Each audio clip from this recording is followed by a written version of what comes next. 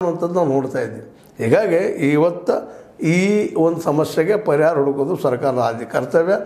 ಮತ್ತು ಇನ್ನೊಂದು ಇಲ್ಲಿ ಗಮನಿಸ್ಬೇಕಾದ್ದು ಏನಪ್ಪ ಅಂತಂದ್ರೆ ಸರ್ಕಾರಗಳು ಇವತ್ತು ಯಾವ್ಯಾವುದೋ ಕಂಪ್ನಿಗಳಿಗೆ ಸಾಕಷ್ಟು ಧನ ಸಹಾಯ ಆಗಿರ್ಬೋದು ಲೋನ್ ಆಗಿರ್ಬೋದು ಮತ್ತೆ ಕೊಡ್ತಿರ್ಬೋದು. ಬಟ್ ಅದರಲ್ಲಿ ಒಂದು ಟೆನ್ ಪರ್ಸೆಂಟ್ ನೀವು ಈ ಜನಕ್ಕೆ ನೀವು ಇನ್ವೆಸ್ಟ್ ಮಾಡಿದ್ರಪ್ಪ ಅಂತಂದ್ರೆ ಈ ಜನ ತಾವು ಬದುಕೋದಕ್ಕೆ ಅನುಕೂಲ ಆಗ್ತದೆ ಮತ್ತು ನಕ್ಸಲಿಸಮ್ ನಿಧಾನಕ್ಕೆ ಕಡಿಮೆ ಆಗ್ತದೆ. ಒಟ್ ಒಟ್ಟಿನಲ್ಲಿ ಕಾಡಿನ ಮಧ್ಯೆ ಎಲ್ಲೋ ಅಲ್ಲೊಬ್ಬ ಇಲ್ಲೊಬ್ಬರು ಕುಟುಂಬಗಳನ್ನು ಕಾಡಿನ ಹಂಚಿಗೆ ತಂದು ಅವ್ರಿಗೆ ಭೂಮಿ ಕೊಡೋದು ಭಾಳ ಸುಖದ ಕೆಲಸ ಅಂತ. ಯಾಕಂದ್ರೆ ನೌಕರಿ ಕೊಡ್ಲಿಕ್ಕೆ ಸಾಧ್ಯ ಇಲ್ಲ. ನೌಕರಿ ಹುಡ್ತಾ ಇಲ್ಲ ಇಲ್ಲ ಈ ದೇಶದಲ್ಲ. ಯಾಕಂದ್ರೆ ನಾವು ಕಳೆದ ಹತ್ತು ವರ್ಷದಿಂದ ಬಿ ಜೆ ಪಿಯಿಂದ ಆಗಿರ್ಬೋದು, ಕಾಂಗ್ರೆಸ್ಸಿಂದ ಆಗಿರ್ಬೋದು, ಹಿಂದಿನ ಅರವತ್ತು ವರ್ಷಗಳಿಂದ ಇವ್ರದ್ದು ಈ ಸಮಸ್ಯೆ ಸಾಲ್ವ್ ಮಾಡೋಕೆ ಆಗಿಲ್ಲ. ಮತ್ತು ಮುಂದಿನ ದಿನದಲ್ಲಿ ಆಗ್ತದ ಗ್ಯಾರಂಟಿನೂ ಇಲ್ಲ.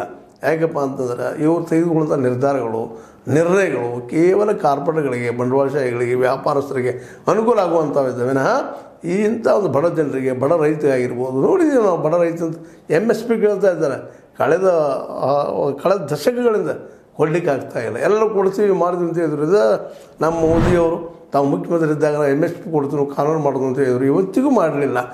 ಮಾತಾಡೋದು ಭಾಳ ಸುಲಭ ಅದ, ಮಾಡೋದು ಅಷ್ಟು ಕಷ್ಟ ಅದ. ಯಾಕಂದ್ರೆ ಎಂ ಎಸ್ ಪಿ ಕಾನೂನು ಮಾಡಿದ್ರೆ ಇಲ್ಲಿ ವ್ಯಾಪಾರಸ್ಥರು ಹೊಡೆದು ಬೀಳ್ತದೆ ಅನ್ನೋ ಕಾರಣಕ್ಕಾಗಿ ವ್ಯಾಪಾರಸ್ಥರನ್ನು ಮಾಡಿಕೊಳ್ಳಿಕ್ಕೆ ಹೋಗೋದಿಲ್ಲ ಹೀಗಾಗಿ ಈ ಸಮಸ್ಯೆಗಳು ಮುಂದುವರಿಯೋದ್ರಿಂದ ಇಲ್ಲಿ ನಿರುದ್ಯೋಗ ಸಮಸ್ಯೆ ಸಾಲ್ವ್ ಆಗೋದಿಲ್ಲ ನಿರುದ್ಯೋಗ ಸಮಸ್ಯೆ ಸಾಲ್ವ್ ಆಗಲಿಲ್ಲಪ್ಪ ಅಂದ್ರೆ ಸಮಸ್ಯೆ ಹಂಗೆ ಬೆಳೀತಾ ಹೋಗ್ತದೆ. ಗಳಿಕೆ ಇಲ್ಲ ಅಂದಾಗ ಖರ್ಚಲ್ಲಿ ಮಾಡ್ತಾರೆ. ಅದೇ ರೀತಿ ಮಾರ್ಕೆಟ್ ತುಟ್ಟಿ ಆಗ್ತಾ ಹೋಗಿ ಹೊರಟದ ಎಲ್ಲ ನೆಲೆಯಲ್ಲಿ ಈ ನಮ್ಮ ನಕ್ಸಲಿಸಮ್ ಏನು ಪ್ರಭಾವ ಮಾಡ್ತದೆ ಈ ಜಿಲ್ಲೆಗಳಲ್ಲಿ ಅಟ್ಲೀಸ್ಟ್ ಅವ್ರಿಗೆ ಬದುಕು ವ್ಯವಸ್ಥೆ ಅಲ್ಲಿ ಕಾಡು ಜನರಿಗೆ ಮಾಡಿಕೊಟ್ರೆ ಮೋಸ್ಟ್ ಪ್ರಾಬಲಿ ಇದು ಕಂಟ್ರೋಲ್ಗೆ ಬರೋ ಸಾಧ್ಯತೆ ಎಲ್ಲ ಇದ್ದಾವೆ ಆ ದಿಶೆಯಲ್ಲೇ ಸಿದ್ದರಾಮಯ್ಯರು ಆಗಿರ್ಬೋದು, ಅದೇ ಕಾಲಕ್ಕೆ ಇನ್ನುಳಿದ ರಾಜ್ಯಗಳ ಮುಖ್ಯಮಂತ್ರಿಗಳಾಗಿರ್ಬೋದು ಸ್ವತಃ ಮೋದಿಯವರಾಗಲಿ ಕೇವಲ ಬಂದು ನಾವು ಹೊಡೆದು ಉಳಿಸಿದ್ವಿ ಅವ್ರು ಕಡಿಮೆ ಮಾಡಿದ್ವಿ ಅಂತ ಹೇಳೋಕ್ಕಿಂತಲೂ ನಕ್ಸಲಿಸಮ್ ನಿರ್ನಾಮ ಮಾಡಬೇಕಾಗಿದ್ರೆ ಅವ್ರಿಗೆ ನೆತ್ತಿಗೆ ಒಂದು ಸೂರ ಮತ್ತು ಬದುಕಿಗೆ ಒಂದಿಷ್ಟು ಸ್ಟನ್ ಗಳಿಸುವಂಥ ಒಂದು ಉದ್ಯೋಗ ಸಿಕ್ಕರೆ ನಿಶ್ಚಿತವಾಗಿಯೂ ಕಡಿಮೆ ಆಗ್ತೈತಿ ಅನ್ನೋದು ಭಾಳಷ್ಟು ತಜ್ಞರ ಭಾಳಷ್ಟು ವಿಚಾರಕರ ಅಭಿಪ್ರಾಯ.